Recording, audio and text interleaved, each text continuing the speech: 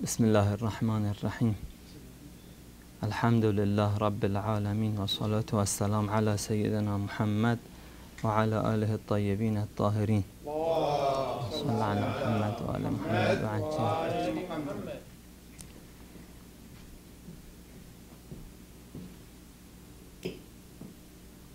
As, as you see, uh, the topic of our discussion is going to be Irfan or Islamic mysticism. This is a controversial topic. The same time, at the same time, is very important to have an appropriate idea about this important Islamic science. Some of our scholars uh, agree that this has an Islamic origin, is one of Islamic uh, sciences, and we have taken its reasons and its rules and regulations from our authentic sources, which is the Holy Quran, our Islamic narrations, and even intellect. Uh, in contrary to this viewpoint, there are some Islamic scholars disagree with the first, the first group and they believe it has another origin.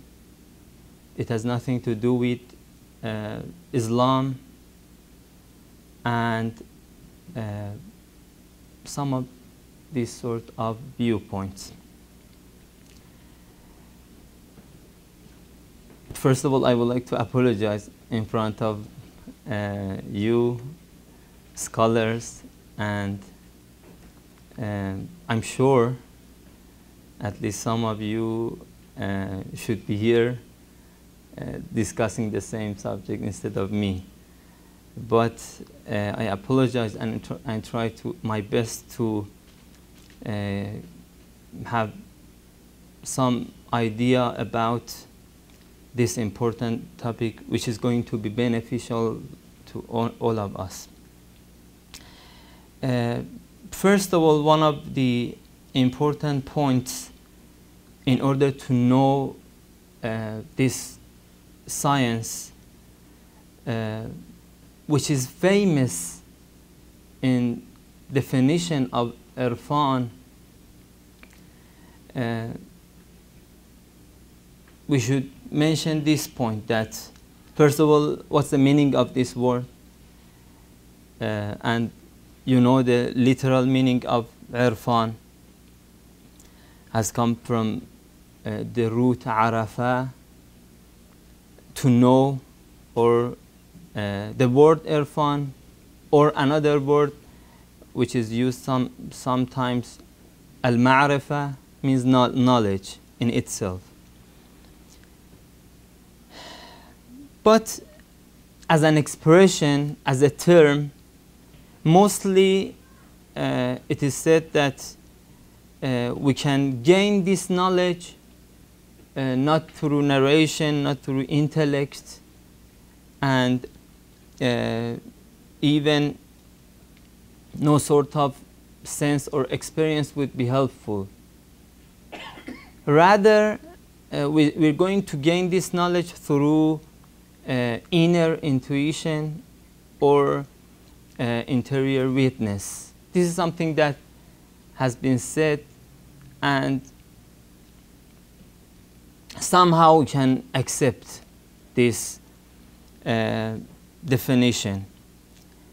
But in order to have a better idea, uh, we should explain and mention some other points. Later we're going to have an appropriate idea about Irfan or Islamic mysticism. Here uh, we should mention that uh, it has an important division. We have two sorts of Irfan, Al-Irfan al-Nadari wal-Irfan al-Amali, theoretical Irfan or practical. As it could be understood from the title, theoretical Irfan is uh, presentational knowledge of the essence, names, attributes, and manifestations of God. When we say presentational knowledge, we mean uh, that sort of knowledge that should be achieved through our inner part, through our soul, not acquired knowledge. We can uh, acquire it from external world. And practical irfan is something that sometimes uh, is called sayr, uh, sayr vasoluk, or that spiritual journey that uh, wayfarer is going to experience uh, through stages and levels of fun. And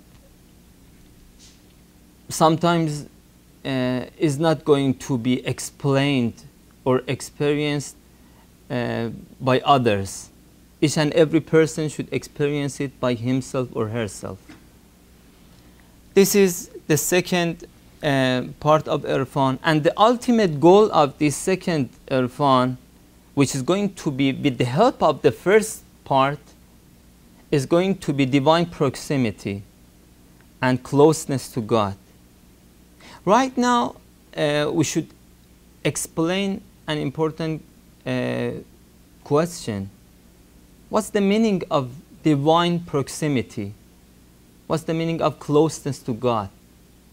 Let me ask some of youngsters over here because our uh, brothers, I'm sure that they know the uh, reply to this question, but I would like to ask some of our young brothers in order to have a better session.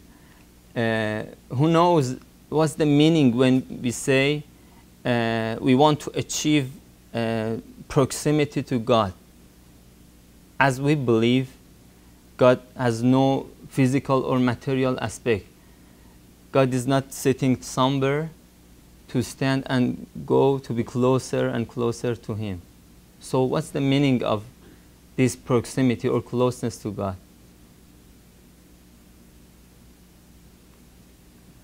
Okay.